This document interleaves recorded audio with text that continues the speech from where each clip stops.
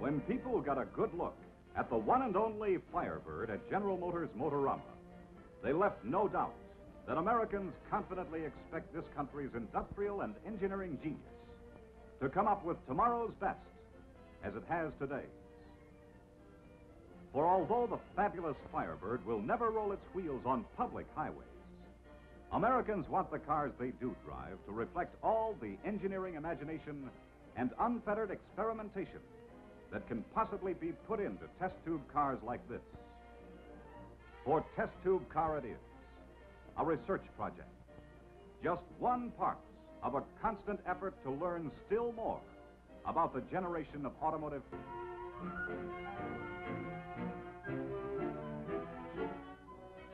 The trailer's precious cargo was handled with extraordinary care, and kerosene was strained into the nose tank with equal caution.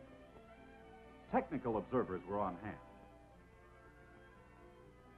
Two-way shortwave wired radio provided a constant check on the Firebird's performance.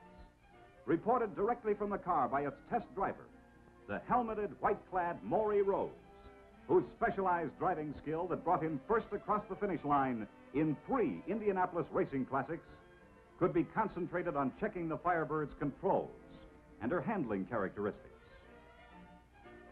When all instructions are given and received, when everything is in readiness and signals cleared, the hatch is closed.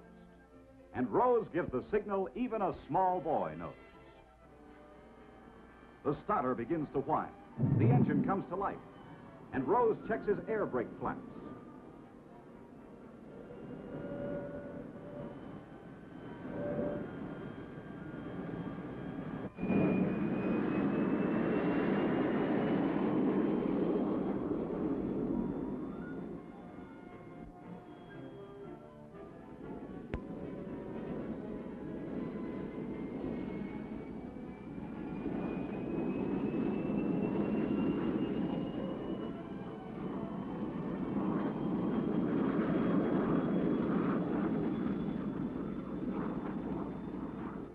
Before gas turbines would be satisfactory power for production vehicles, research has a lot of work yet to do.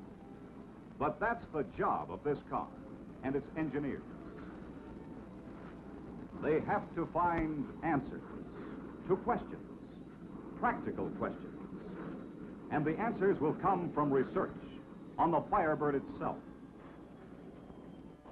As she runs up the miles on proving ground roadways, engineers will try to find how best to stop her, with or without her brake flaps. Try to make her run quieter, use less fuel.